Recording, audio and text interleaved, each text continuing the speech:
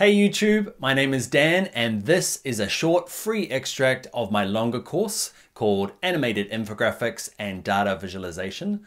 That course along with the free exercise files for this particular video and a free downloadable cheat sheet can be found at bringyourownlaptop.com.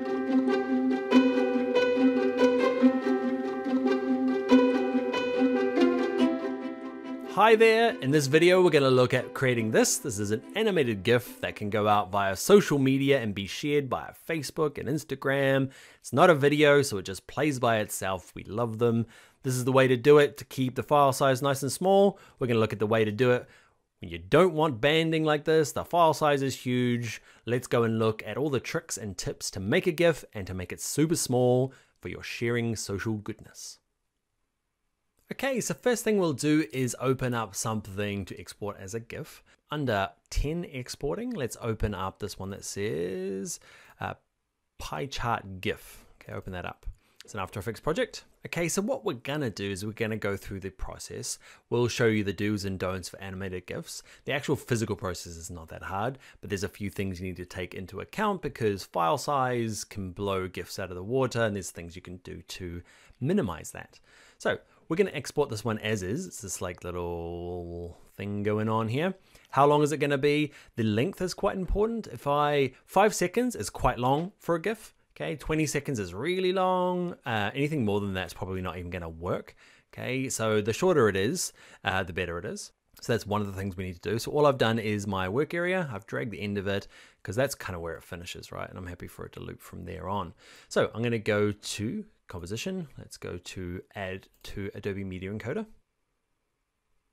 Cool, and in here, all we need to do is make sure that it's an MP4, which is this drop down here, H264, leave everything preset, and what you'll notice is, I'll just show you in here, we you don't have to go in, but you'll notice that it is clipped to my workspace area automatically. You can see down here, you see it's already clipped and it's clipped to my work area. If you want the whole thing, you can switch it there.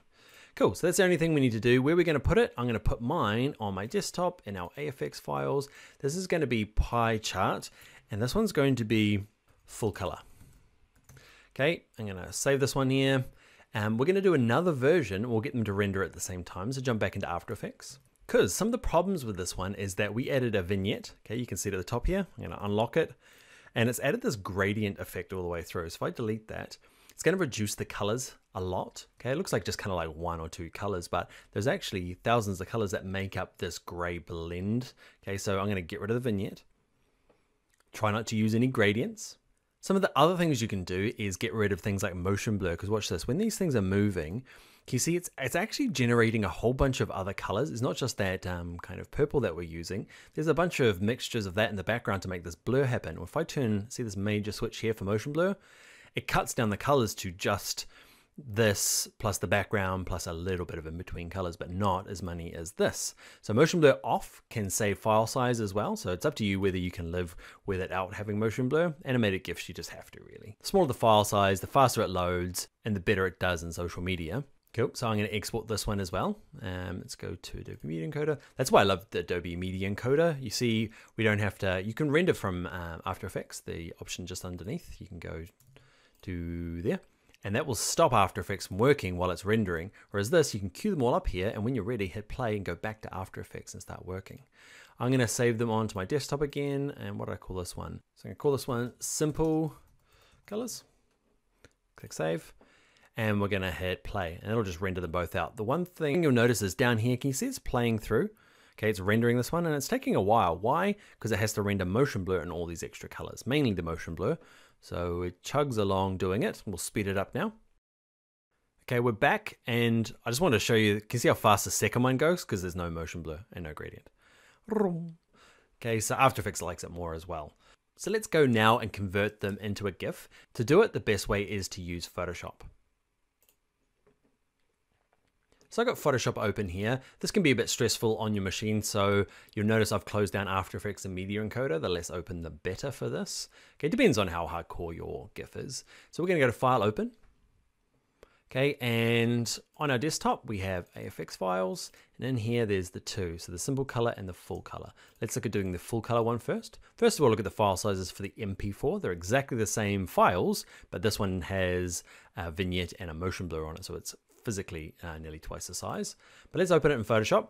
All we're gonna do is click open, and then go to File, go to Export, and go to this one here. You have to use Save for Web. If you're using the new fancy one, Export As, you're not allowed to. So save for web legacy. Okay, so that took ages to open. Uh, so if yours finding yours takes a long time to open, don't worry, it does. So let's first of all just export it as is, just to see some comparable sizes. Um, so what we want to do is stick it on preset. Let's start with the top here, the GIF uh, 128 colors uh, dithered. So at least we know we're all on the kind of same page. It's going to take a little while to readjust this whole thing. Cool. And what we can do is you can have a maximum of 256 colors in a GIF. That's why you get that kind of like weird grainy look from a GIF. Okay, the lower you go, the smaller the file size, the quicker it will play. So 128 in this case, I'm going to go all the way to the maximum, 256. So this square here is all the colors that it can use. And let's just click save. Put mine on my desktop in my After Effects files and let's click save. This can take a little while as well, depending on how big your GIF is. Cool, let's do the second version. So file open, there's another MP4, and it is the simple colored version. Cool, and let's go to file, export, save for web. Everything just runs fast because everything's easier. Cool, uh, pick everything. It's gonna use the same as last time, so I don't need to change anything. Just gotta wait for it to stop having the beach ball of doom. Come on. All right, let's hit save. Same thing, save, kick back, relax. All right, so let's go and check the file sizes. So on my desktop, AFX files, here is my two GIFs. There's one and there's the other one. And you can see the difference in size. Okay, so still quite a simple animation, but without the um, motion blur and the vignette, it's a lot smaller. Okay, so what is it? So it's about a third the size. Okay, so in terms of file sizes, if you get near two megabytes, you're getting too big. Okay, so this one would, I could live with this. The only trouble with it, I guess, is that it will take longer to load. Okay, so say you're putting it up on Facebook or Instagram, it just won't load very quickly because the file size is so big. So the lower the better. And I think there are some restrictions on file size for Instagram. Have to double check. But they both look good. Okay, I'm previewing mine on a Mac by hitting spacebar. Uh, if you're on a PC, I'm not sure. Um, maybe right click it and open it up in Internet Explorer. That'll be able to preview it for you. Okay, but this is good. It's an animated GIF. I can share it around. Let's look at some of the other things you can do to get the file size down. Is in here in Photoshop, I'm going to close down the full colored one. Okay, is I'm using my simple colored version. I'm going to go to File Export, Save for Web. And what you want to do is play around with the image size here. Mine's at full HD. There's never a need for full HD uh, animated GIFs. Okay, so I'm gonna have to wait for this thing to stop spinning, and then I'm gonna put it down to a better size. You might also play around with the format. We know that Instagram and Facebook like a more of a square format, so you might design it in After Effects, because this one here would do really well as a square one because there is nothing really going on on the sides here, so I could adjust that. It's probably easiest to do it in After Effects before you come in here. Okay, so in here, what size does it need to be? I don't know. Have a little look at recommended sizes for your specific social media application. Okay, but let's say I want mine to be 500 pixels high. Okay. Um, the other thing we need to double check down the bottom here is looping. Now mine looped once, okay, that's by default. If you want to keep looping, that's pretty much how everyone wants their um, GIFs.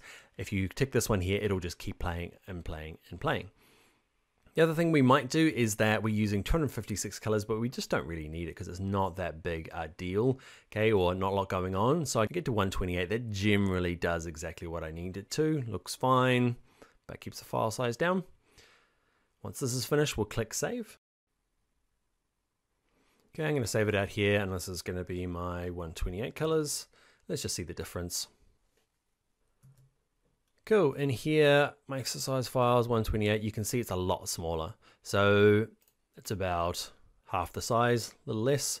Okay, and it's still looking pretty good. There's enough colors making it happen, and it now loops. Awesome, so that's how to make an animated GIF. Let's look at things you can't do. Okay, our little bar graph was perfect, but if you use one of the exercise files in here, so I'm gonna do this in Photoshop, I've made a little live action version. So this in your export file, see this one called largegif.mp4. So I've made this little video. Okay, it's only one second long. Okay, I just want to show you the difference between simple stuff, like our lovely bar graph that just has simple colors, even with a vignette, and then this one here, which is live action, which has got millions of colors. Let's see what happens. Some Photoshop file open. Let's find him. He is in my exercise files, number 10. Large GIF. First of all, it might not open. Well, so it'll definitely open here. Sorry, the bit that it might not open is export save for web. You might be sitting here for a million years for this thing to load. Okay, especially if it's more than a couple of seconds long. I've done this with you know with longer stuff with full action. It just my Photoshop just won't do it. Okay, so this is fine. We're going to do the exact same settings as we had before. Okay, we'll leave it at HD. And the colors wise, we'll put it to our as many as we can use. You might not be able to hear it, but my poor little laptop, the fans have come on, the machine's cooking, trying to do this sort of stuff. It's at save. Go, I'm to call it large GIF. I'll stick it in here in my exercise files.